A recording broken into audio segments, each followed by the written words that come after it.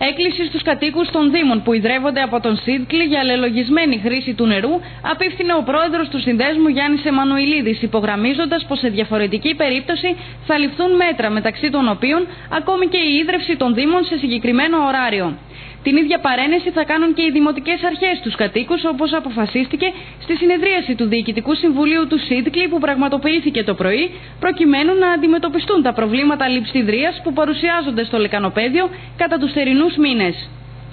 Να κάνουν λογική χρήση. Το πρόβλημα δημιουργείται μεταξύ των ωρών 5 και 9, όπου βγαίνουν όλοι και ποτίζουν κήπους, παίρνουν αυτοκίνητα και οτιδήποτε άλλο και τους παρακαλώ πάρα πολύ αυτό θα το κάνουν και οι Δήμοι θα κάνουν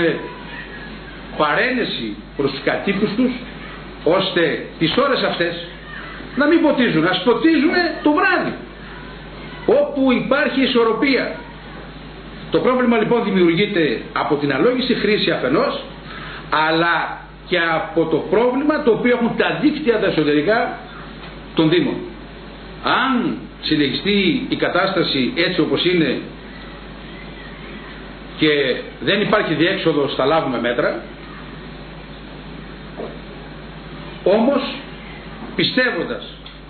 ότι οι κάτοικοι του Λεγανοπεδίου θα ακούσουν,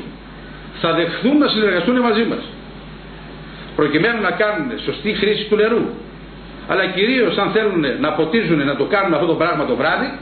όχι όμως και πάλι αλόγιστα, διότι αν αδειάσουν οι δεξαμενές, θα πρέπει να κάνουμε άλλη μεσημέρα για να γεμίσουν. Οπότε, ένα απομένει.